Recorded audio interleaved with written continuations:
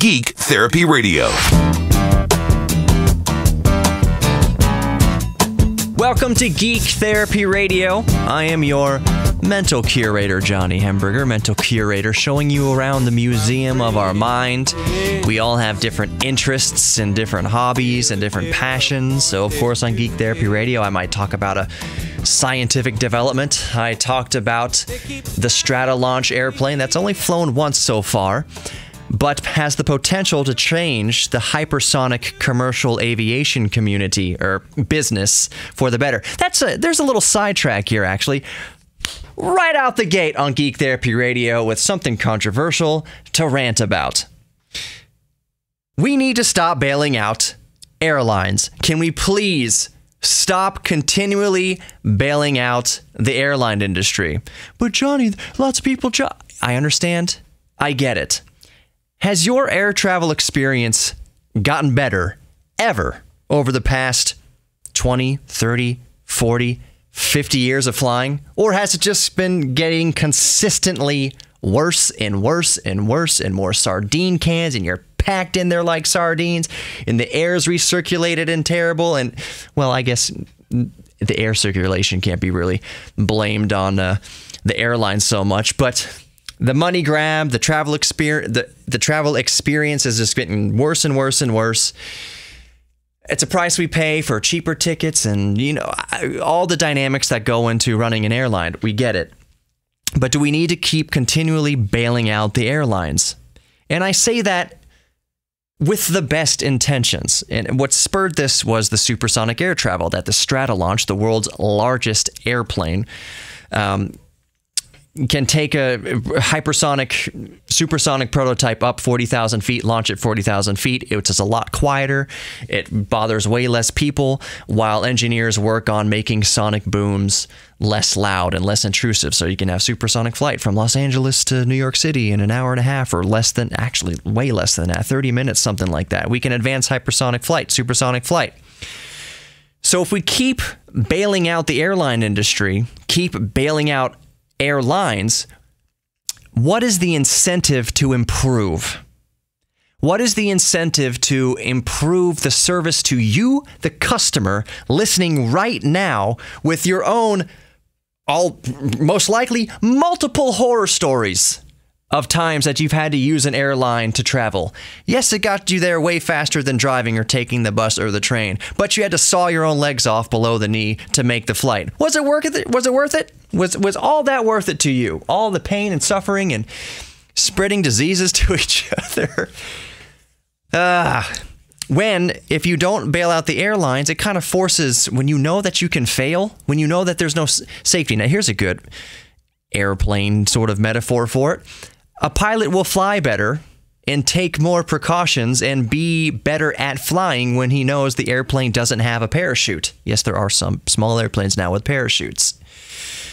Versus when you have a parachute, if an airline knows, hey, if we F things up so bad continually for decades, we'll just get a few billion dollars from the government and we'll be right as rain. No. Without that incentive, without that safety net, without that parachute, the airline companies would only have to make things better. They would only have to earn your business more. Right now, we fly because we have to fly. We have to be somewhere in a certain amount of time. It's just the fastest way to do it. And the airlines have us by our carry on, if you know what I mean. They know it. They stand there. You know, the CEOs of airline companies are just sitting there rubbing their, oh, their their chest. Don't get me wrong here. They're they've got a finger or two on the nipple, and they're just, what's that? Tell me, oh, tell me how bad it is. Tell me how bad your flight was. Ooh, yeah, tell me. I love hearing how horrible it was because I know you don't have another choice. South Park did an episode about that about about big telecom companies and internet and cable providers. Oh, they're the only game in town. So, oh, tell me what your problem is. Oh, yeah, tell me. Mmm, I love bathing in the sweet honey of your customer complaints because where else are you going to go? We're not going to do anything. We will continually just find areas to cut, to improve that profit margin, anything to improve the profits other than provide you with a good experience you're willing to pay for. anything but improve the service. Maybe if we if the airlines knew they weren't going to get bailouts, maybe company, you know, maybe Boeing's already doing this and other aircraft manufacturers are doing this. I'm not talking about the aircraft manufacturers necessarily, but maybe companies like Air uh, United or Delta is that even still around? Continental? Am I dating myself? Have they all merged into one giant airline? Is that part of the problem? Is that there's not enough airlines anymore? It's all a monopoly? Not really. Maybe. Oh gosh, Lufthansa. Maybe British Airways and Air France and all them would further invest money into supersonic travel. Maybe they'd see that the not the writing on the wall necessarily, but hey, if we can improve service, if we can, maybe if we help fund or help push forward supersonic travel, maybe once it becomes viable and this when Boeing can make a new plane capable of supersonic flight, maybe it doesn't have to cost $10,000 a ticket like the Concorde did. Maybe it doesn't have to be as destructive, you know, to the environment as Concorde was, even though that's kind of misnomer because how many Concordes are actually flying to have any real measurable impact on the environment, but I digress. Maybe there'd be an incentive if airlines knew they weren't going to get constant bailouts to make the service better. Maybe there'd be an incentive to invest in supersonic flight because supersonic flight would attract customers and business like no other. Could you imagine if United Airlines was the first airline to offer supersonic travel from Los Angeles to New York and you could be there within 30 minutes? You wouldn't have to offer the cheapest airfares ever because there is a value incentive in getting from Los Angeles to New York on a lunch break. Does that kind of make sense what I'm saying? I think I'm going to reserve my broadcast because I do have the podcast, the Geek Therapy Radio podcast, throughout the week. But I think I'm going to reserve the broadcasts for my more ranty subjects. So just prepare yourselves. The broadcast might have more rants. I might get on the government a little bit more in these broadcasts, only when it applies, not in a political left or right kind of way, but when the FAA, for instance, wants to infringe on our rights as RC aircraft hobbyists or drone hobbyists. Uncle Sam wants to step in constantly and tell us what we can't do with aircraft under five pounds. Screw you, get out of my backyard, get off my lawn.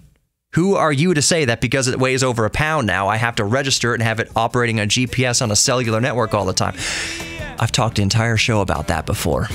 And I'm coming up on a break here. Out the, out the gate with it. More Geek Therapy Radio coming up. I'm your mental curator, Johnny Hemberger. Don't go anywhere. Preach, Bill Withers. Preach.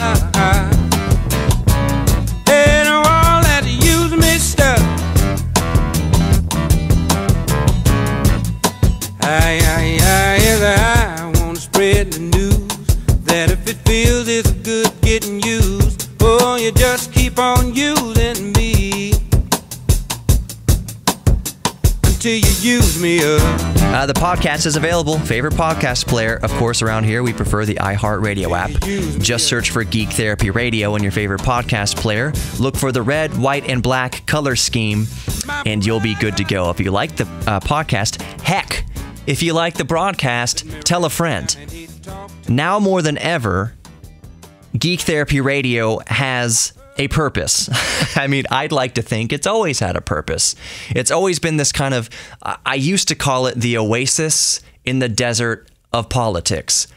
Not that I'm afraid to get political from time to time, like I mentioned in the previous segment, when it serves uh, serves the interest of the hobbyist um, but I tend to keep it more of it's it's an open invitation. I, I also used to say I like to draw a circle in the sand rather than a line in the sand. I have this experiment that if you line up uh, a picnic table, put a picnic table 100 yards long on a football field, and then have some people sit on one side of the picnic table and another group of people sit on the other side of the picnic table. And the only thing, the only rule is no politics.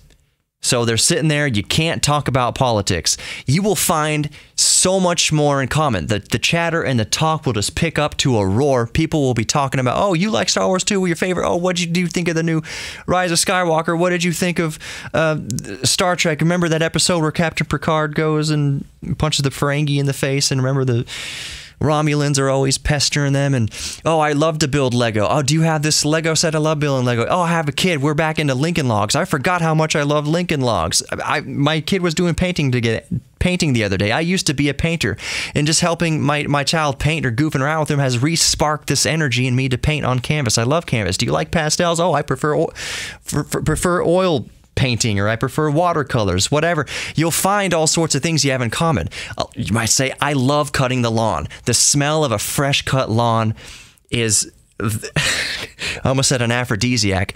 Maybe, depending on who you are. Maybe you love the smell of fresh, fresh cut grass, and it's great geek therapy for you to geek out about cutting your lawn just right or getting out there and mowing the lawn. There's not much better some days than just sitting, get, grabbing a beer out of the kitchen, taking a swig of a nice ice cold shiner, whatever you want. We're not judging you, Bud Light, whatever. No judgment here. Maybe it's a fine craft beer.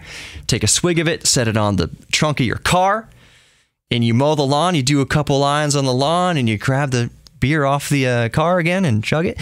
I wouldn't suggest putting the beer on the handle of the uh, lawnmower because it's shaking too much. It's just too much shaking going on. The beer's flat by the time you cut that first line. They should make a beer with the aftertaste of fresh cut lawn. Now I'm geeking out hardcore. Do you think that maybe a, Eighth Wonder should put a few grass clippings in their next vat? I bet you.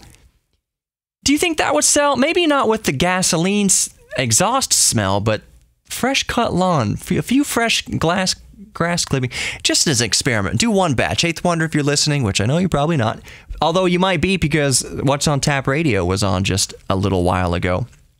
Eighth Wonder, any brewery, Southern Star, I don't care who you are, maybe make a batch. And I'm talking, I'm talking maybe just a sixer, as little as a sixer. You already have a, uh, a beer called Lawnmower.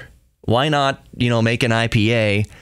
That has the aftertaste of grass clippings. And the aftertaste, I had no idea I'd get off on this tangent. I'll get back to my mental experiment in a second.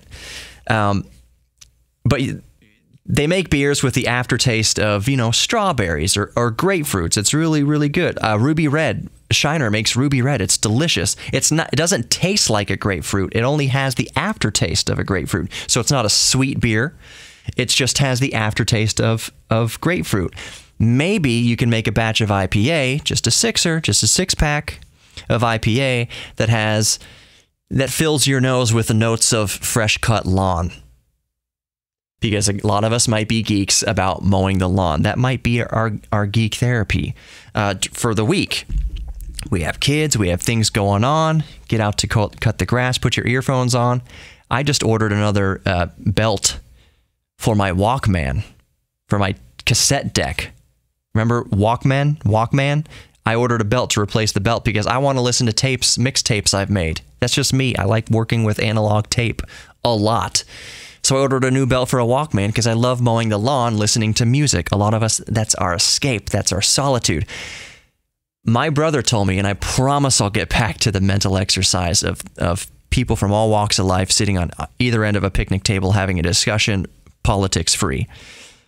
Get back to that in a second. My brother told me recently, he's going to hate me for saying this, uh, that one his me time, he very much values his throne me time, if you catch my drift. That uh, dropping the kids off at the pool, so to speak, is like a certain amount of time each day where the kids aren't in the bathroom, the phone's not ringing, He's alone. He can think. He can get his, some geek therapy in there and maybe do, I don't know what he's doing on the toilet. I've written some, I'm a musician. I've written some of my best songs on the toilet. Don't you laugh at me. Don't you laugh. I know there's a lot of musicians listening right now, songwriters. You know, you know you've written your best work, some of your best work. You've come up with your best chord progressions on the toilet. Don't lie. Do not lie, especially now in quarantine times. The bathroom, hopefully, is one last bastion of solitude. You've sat, musicians, guitarists. I know you've sat on the toilet with a six string. I know you have. don't lie and you have written some cool riffs on there you've some you've come up with some cool stuff and it's the bathroom there's good acoustics why am i getting so fired up about this yes i do have personal experience with it yes i do know my own mother-in-law listens to this. Susie your son has done some good work musically on the throne. Just putting it out there. Sorry not sorry.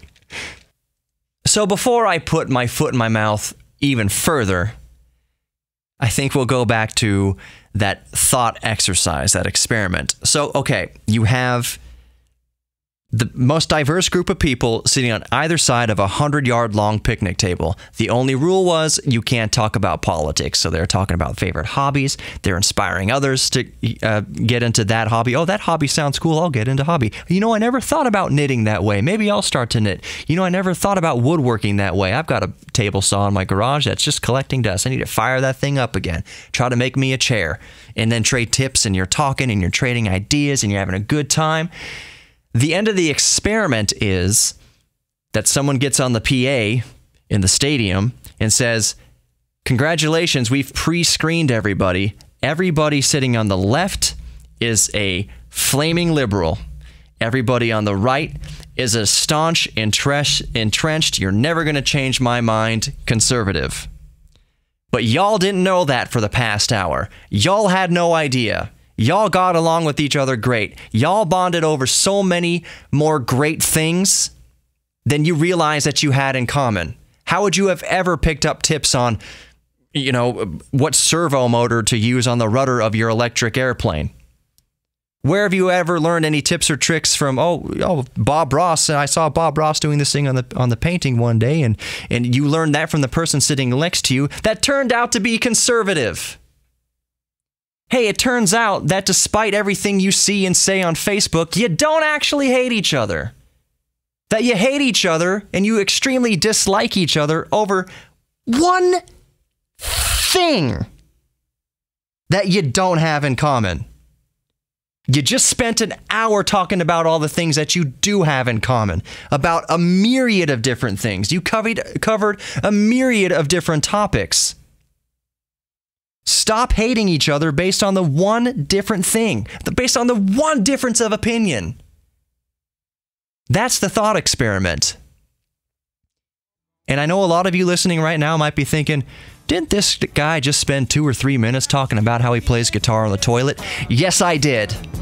And now I'm going to play more Bill Withers on the way out here. You're listening to Geek Therapy Radio. Thank you so much for putting up with me today. Take it away, Bill. We'll be right back. If you only knew, you'd wish that you were in my shoes. You just keep on using me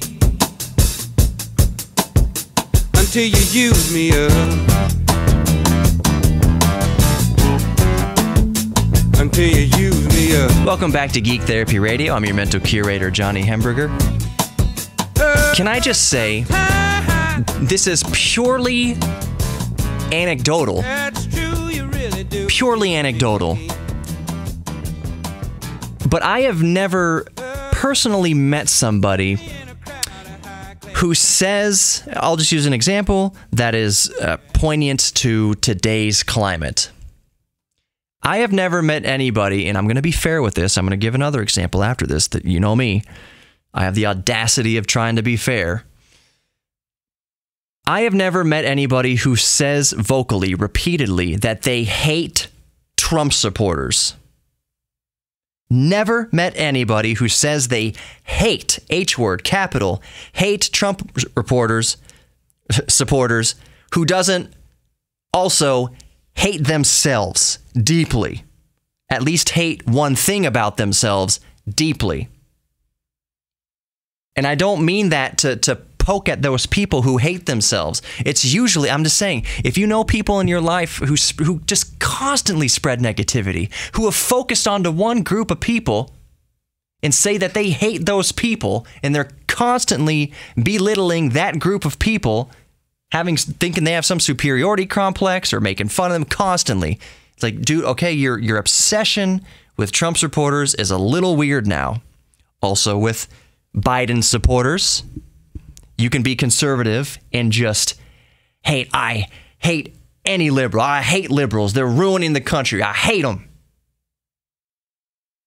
I'd wager there's at least something about yourself that you hate if you don't just completely hate yourself. And I, I don't mean that in a, in a belittling way. I and to diminish anything. There are people we're going through real things. And what do we do when we're going through some real struggles and maybe severe depression, or maybe we hate ourselves or think we hate ourselves? We lash out.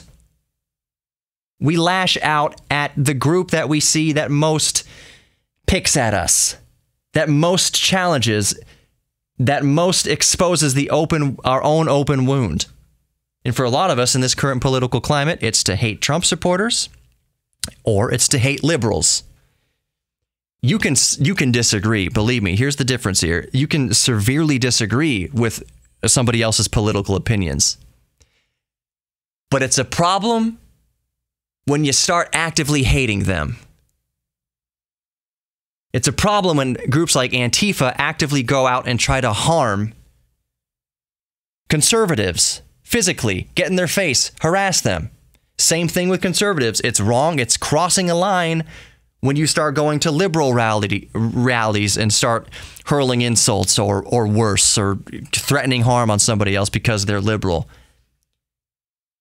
That exposes more about you than it does about them. Big time. Big time. You see it all the time on YouTube. YouTube comments used to be a dumpster fire, but now they're getting better. Twitter's a great example of this. People love to do this on Twitter. They will be at each other's throats on Twitter. Constant negativity. The only thing they ever post on Twitter is something negative, is something vile, is something revolting, it's something hateful. Is there any person in their right mind who sees all this filth spewing from this person's fingertips and thinks that person must have it going on. That person must have their life under control. That person must have a ton of self confidence. Nope. Level headed people see that kind of smut in mud, in mud flinging, in crap, in scat, in the S word, and whatever, and think, whoa, I hope that person gets help because there's a difference between that person and somebody who merely disagrees. I can have a discussion with anybody on any side of the political aisle and be perfectly fine with with a difference of opinion. There's no way. See, the thing is, even if you're liberal or even if you're conservative talking to another conservative or a liberal talking to another liberal, there is no way on this earth, on God's green earth, that you're going to agree on everything. And if your first emotion at disagreement is I hate this person now. They disagree. They're wrong. I know the right way.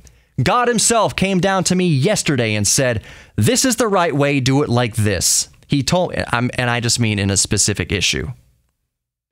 So I don't mean, you know, the way you live your life or uh, your religious beliefs. I have my own religious beliefs. I believe in God 100%. I have my own relationship with God. I know that's foreign to a lot of people. Some people might think that's a bunch of hooey. Fine. I don't hate you for thinking that. There's a good example. I have a lot of atheist friends, actually. I saw a church sign recently that said God prefers friendly atheists over hateful Christians. Bingo. That is 100% true. That has to be true. Well, does it have to be true? It's just my opinion that it's true. There's a lot of really good kind atheists who do so much good in this world and spread so much joy and happiness and love in this planet. And then there are Christians, some Christians, who do nothing but spread hatred. Do you think that when the leaders of the Westboro, Westboro Baptist Church get to the pearly gates alongside an atheist, if there is a heaven and we get to heaven and both of us are, you know, being judged or whatever, do you think that God's going to sit there and be like, hey, Westboro Baptist, you hurt so many people in my name. You have destroyed so many people's lives. You have made so many people feel worthless and ashamed, all while doing it in my name. Do you think I'm going to let you in here? Do you think I'm going to smile upon your actions on the earth using my name to tear people down? versus turning to the atheist and saying, you know, I know you didn't believe in me, but you did so much good in this world. You devoted yourself to science, you devoted yourself to medicine, you created vaccines and cures, you did my work on the earth, whether you knew it or not. You were one of my instruments and you did so much good in this world. You didn't have to believe in me. You didn't even have to believe in me. Matter of fact, you didn't believe in me and you still did good versus somebody who did believe in me and did evil from the first moment they set foot on this earth to their last dying day, they committed evil in my name. You committed good not using my name. You didn't even believe in me. This person used my name to commit evil. Child molesters, priest touching kids.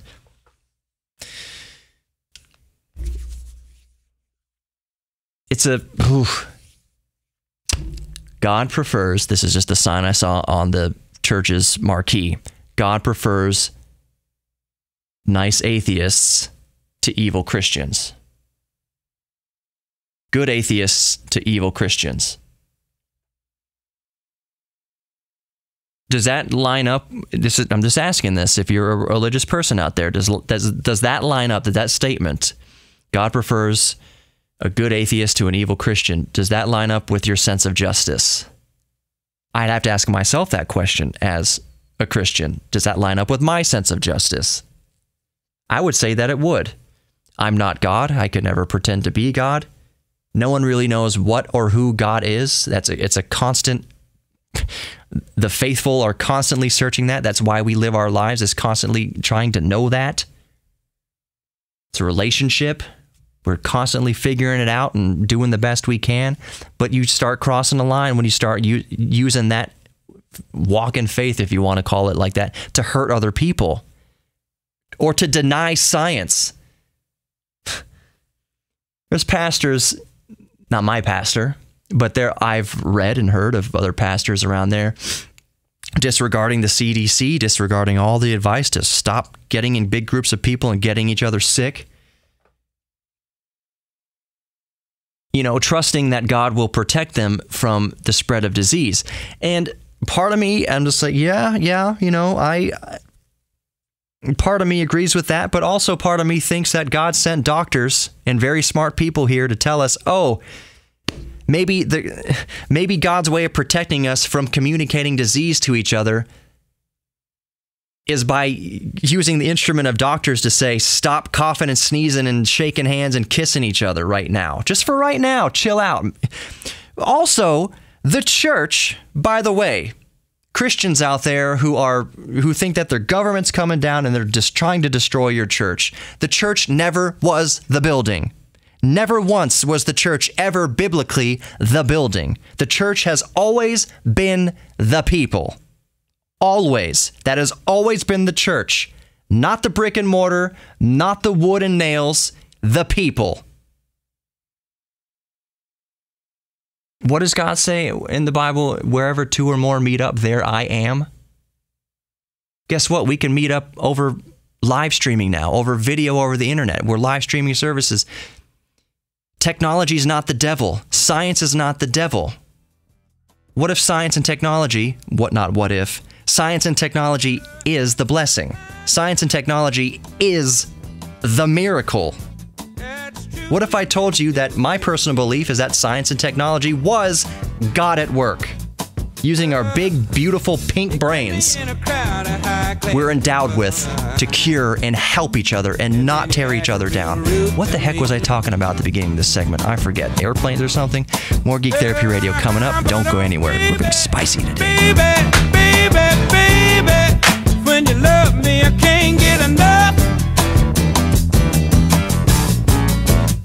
Welcome back to Geek Therapy Radio. I'm, of course, your mental curator, Johnny Hamburger. We're having a feisty, spicy one today. If I do say so myself. But, you know, this is one of those episodes of Geek Therapy Radio where it's really therapeutic for me. Just to to vent really, to get the juices flowing and get get feisty with it a little bit. Um, I mentioned earlier that I was going to try, maybe going forward, to reserve the broadcast that you're listening to, which I also podcast the broadcast, it's 2020. The broadcast is promotion for the podcast. Um, but I mentioned earlier that I might start leaning the broadcast towards more of this kind of fiery, more opinionated stuff. Of course, it's still an open dialogue, and maybe opinionated isn't the right word, even though it's going to be. Anybody who has any sort of microphone is going to have their own opinions. We all have our own opinions. You listening right now have your own opinions. You may agree or disagree with my opinions. That's fine. As long as we don't hate each other for it, because hating each other over difference of opinions is stupid. That is. it's dumb. Hating people over differences of opinion. Um, but I'm gonna, I might go forward from here and use reserve the broadcast. So if if a subject comes up during the week and I want to talk about it, um, I'm gonna reserve the broadcast for the kind of maybe the spicier, more more lively things. Not that I won't get spicy or saucy in the podcast. I can, and I often do.